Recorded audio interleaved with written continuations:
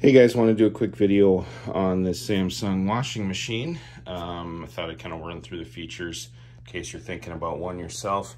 Obviously, good hygiene for the washer when it's not in use for these front loads. Um, you want to keep the door open, make sure it gets all dried out in there so nothing gets stinky. Um, and that's really all it takes to keep this from getting stinky is just making sure you keep that door open. So running through the, the uh, available cycles, you know, all the, all the normal stuff, normal heavy duty whites, bedding, sanitize.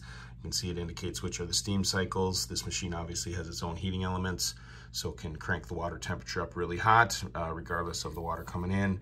Quick wash delicates, perm press, rinse, just rinse and spin, and then it's self-clean.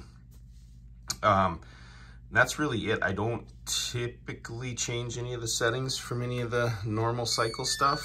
Um, you know, they say, keep telling us use cold water, use cold water. So I'm trying to get on that, get on board with that. Um, but you can obviously adjust the temperature, the number of rinses, the spin, how, and then how dirty obviously drives kind of everything else. You can turn on the steam here, um, all the pre-soak, alarm off, etc., etc.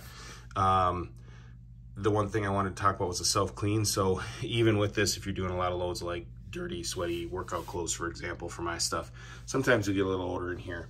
And in that case, you can do a self-clean um, and pick up, they sell, you know, self-cleaning tablets kind of all over the place. You can get them on Amazon. Um, and you just throw, in this one, you just throw it in the drum uh, and then run the self-clean. It's like a four hour cycle. So it cleans the crap out of itself and uh, comes out smelling fresh. So um, from a detergent, you got the normal detergent spot here. This is for bleach, or we use the laundry sanitizer quite a bit. Um, and then uh, this is for softener, which we don't actually use much. But uh, that's the drawer. Um, overall, been quite pleased with it. We obviously have the matching dryer as well. And uh, if you're thinking about them, I think the Samsungs are a good bet. Hope that helps. Thanks.